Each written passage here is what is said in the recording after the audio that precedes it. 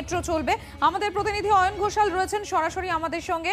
অয়ন, চলে আসব তোমার কাছে। অয়ন, মেট্রো স্টেশনে তুমি দাঁড়িয়ে আছো এবং এত দীর্ঘ দিনের পর আবারও মেট্রো ওপেন হতে চলেছে। তবে স্পেশাল কিছু মানুষের জন্য, অর্থাৎ স্বাস্থ্যকর্মী, সংবাদকর্মী, ব্যাংক কর্মী, পুলিশ অফিসার, তারাই এখানে বা পুলিশের পুলিশ যারা রয়েছেন, তারা এখানে ট্রাভেল করতে পারবেন। এই যে ছজোড়া স্পেশাল ট্রেন রয়েছেন, কোন কোন সময়ে চলছে বা কীভাবে চলছে, তুমি যদি একটু ডিটেলসটা তুলে ধরো।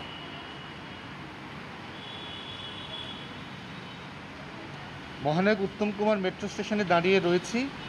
ইতিমধ্যেই কবি সুভাষ থেকে কাটায় কাটায় সকাল সাড়ে নটাতে দমদম নোয়াপাড়াগামী মেট্রো, যেটা এখন দক্ষিণেশ্বর পর্যন্ত সরাসরি যাবে বা ফুল সার্ভিস সেই মেট্রো চালু হয়ে গিয়েছে। এবং আমরা যেখানে দাঁড়িয়ে রয়েছি, সেখানে এখন এক্সপেক্টেড টাইম অফ অ্যারাইভেল বলে কিছু দেখাচ্ছে না। কিন্তু যেটা আমরা খবর পাচ্ছি, আর মিনিট ছয়েকের মধ্যে এই মেট্রোটি মহানায়ক উত্তম কুমার স্টেশনের আপ লাইনে প্রবেশ করবে। মোট যে ক্যাটেগরিগুলোর মানুষ এই অত্যাবশ্যকীয় মেট্রো পরিষেবা পেতে চলেছেন, তার মধ্যে মেট্রোর নিজস্ব কর্মীরা রয়েছেন, ভারতীয় রেলের আইডেন্টিটি কার্ডধারী যে কোনো কর্মী রয়েছেন, হাসপাতাল সহ সমস্ত হেলথ সেক্টর কর্মীরা রয়েছেন, এমার্জেন্সি পুলিশ সহ সমস্ত কর্মীরা রয়েছেন, সংবাদ মাধ্যম রয়েছে এবং ব্যাংক ও বিমা কর্মচারীরা রয়েছেন। এই মেট্রো পরিষেবা বা মেট্রোর চাকা উনত্রিশ দিন বাদে গড়াচ্ছে। একদম বিধিনিষেধের প্রথম দিন থেকে পূর্ব ও দক্ষিণ পূর্ব রেল কিছু স্টাফ স্পেশাল চালাচ্ছিল।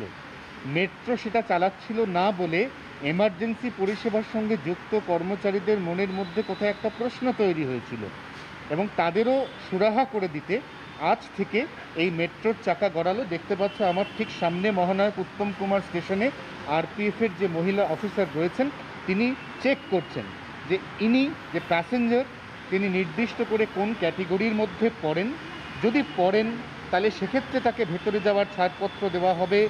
যদি না পড়েন, তাহলে তাকে কিন্তু এখান থেকে পত্রপাঠ ফিরিয়ে দেওয়া হবে। এতটাই স্ট্রিক্ট কারণ শুধুমাত্র এমার্জেন্সি পরিষেবার জন্য অনেকটা স্টাফ স্পেশালের ধাঁচে এই পরিষেবা চালু হয়েছে।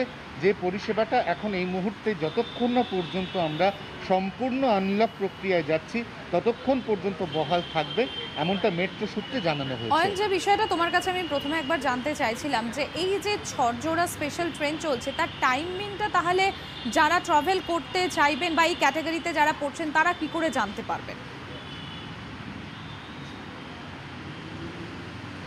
সকাল সাড়ে নটা থেকে বেলা সাড়ে বারোটা পর্যন্ত ছটি আপ ট্রেন এবং তারপর বিকেল চারটে থেকে সন্ধ্যে সাড়ে ছটা পর্যন্ত ছটি ডাউন ট্রেন, সব মিলিয়ে আধ ঘণ্টা অন্তর অন্তর এই ছটি আপ এবং ডাউন মিলিয়ে বারোটি ট্রেন চলবে এবং এই ট্রেনগুলিতে যথাসম্ভব কম প্যাসেঞ্জার রাখতে চাইছেন মেট্রো কর্তৃপক্ষ, যথাসম্ভব ফিজিক্যাল ডিস্টেন্সিং রাখতে চাইছেন।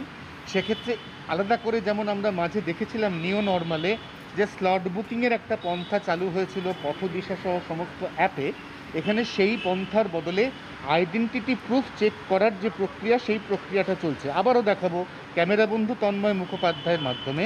এই মুহূর্তে যে যাত্রী, তিনি মেট্রোয় প্রবেশ করছেন বা যারা প্রবেশ করছেন, তাদের প্রত্যেকের আইডেন্টিটি কার্ড চেক করা হচ্ছে এবং যাচাই করে নেওয়া হচ্ছে যে ছটি ক্ষেত্রকে মেট্রো চড়ার ক্ষেত্রে ছাড় দেওয়া হচ্ছে।